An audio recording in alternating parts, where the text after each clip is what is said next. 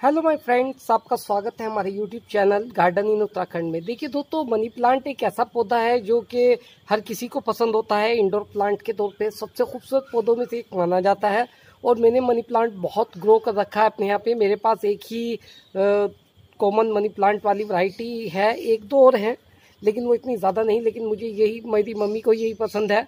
तो मैं इसी को सबसे ज़्यादा ग्रो करने की कोशिश करता हूँ।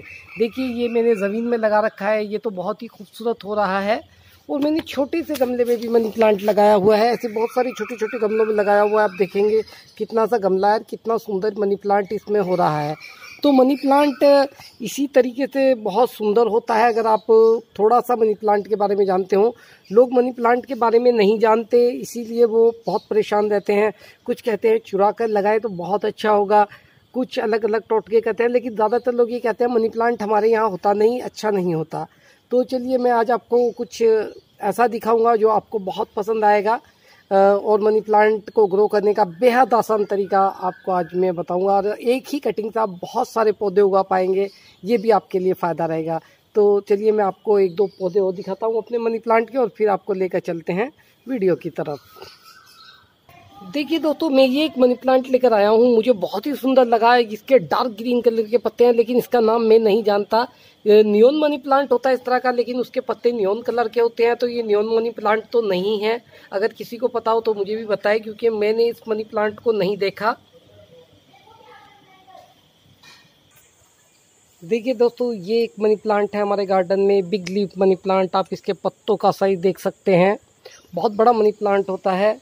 और एक और मनी प्लांट है जिसका मुझे नाम नहीं पता, मैं आपको दिखाता हूँ, मैंने बहुत सर्च किया, लेकिन उसके बारे में मुझे कुछ नहीं पता चला। अगर आपको पता हो तो मुझे भी बताएँ। तो दोस्तों देखिए, एक प्लांट ये है, ये पर्पल कलर का है और मुझे नर्सरी में मिला तो मिल गया मुझे मनी प्लांट लगा ये। लेकिन ना तो नर्सरी वाले को इसके बारे में कुछ पता था। बोला जी शो प्लांट है। मैंने कहा शो प्लांट है तो क्लियर है, कुछ नाम वगैरह जानते हो तो उसने मना कर दिया। लेकिन ये बहुत ही खूबसूरत है पर्पल कलर का। क्या कहें, बहुत ही कमाल का लग रहा है। मैं इसे कोशिश करूँगा कि इसकी कटिंग से और पौधे बनाऊँ, क्योंकि ये एक ही है। मर गया तो गायब हो जाएगा। अगर इसके बारे में आपको जानकारी है तो थोड़ा इसके बारे में मुझे बताएँ। दो मनी प्लांट है जिनके बारे में मैं नहीं जानता। आप चलते हैं मनी प्लांट को कैसे आप ग्रो कर सकते हैं और एक ही कटिंग से बहुत सारे मनी प्लांट उगा सकते हैं, ये आपको बताते हैं। तो दोस्तों, देखिए, आ जाते हैं मुद्दे की बात पे कि मनी प्लांट को की एक छोटी सी कटिंग से आप बहुत सारे पौधे कैसे उगा सकते हैं। और मनी प्लांट को कैसे उगाया जाए बढ़िया तरीके से। तो मैं आपको बताता हूँ कि आपको करना क्या है। जैसे मैंने एक ये शाख ले ली है, और बात इसे जनरली लगाएँगे तो एक ही प्लांट होएगा, लेकिन मैं आपको बताऊँगा कि आप इसे मल्टीपल प्लांट कैसे लें। आप इसे ऐसे कट कर लें। ये जो एक छोटा सा पत्ता है, थोड़ी सी शाख डंडी के साथ अपनी, ये काफ़ी है प्लांट उगाने के लिए। आप इसे लीजिए और रेतीली मिट्टी लीजिए।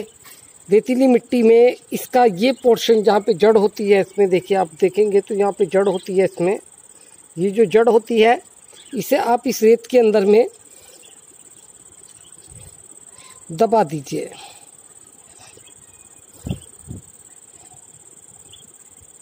इस तरीके से आपने दबा दिया। ऐसे ही दूसरा लेंगे।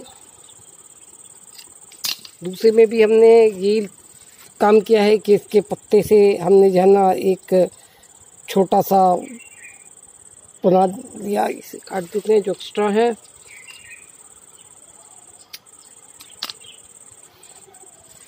देखिए, इसे भी ऐसे ही रख देंगे। जो जहाँ से मोल निकलनी है, उसी से को ऊपर रखेंगे थोड़ा सा। उसे नहीं दबाएँगे। दबा भी दे तो वैसे कुछ नहीं होता, लेकिन आसानी रहेगी पौधे को निकलने में अगर आप उसे खुला रहने देंगे।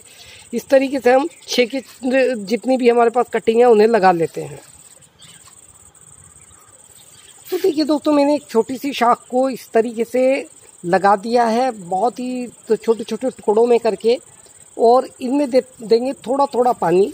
पानी किसी स्प्रेयर की मदद से दीजिए, या फिर बहुत सावधानी से दीजिए, आपको पानी कैसे देना है कि वो ज़्यादा इनको डिस्टर्ब ना करें। क्योंकि इनकी जड़ें नहीं खुलनी चाहिए। जो हमने दबाई है, वो बहुत छोटी सी जड़ होती है और उसे हमने बचा के रखना है। इस तरीके से आप धीरे धीरे पानी दिन में दो से तीन बार देंगे इन्हें।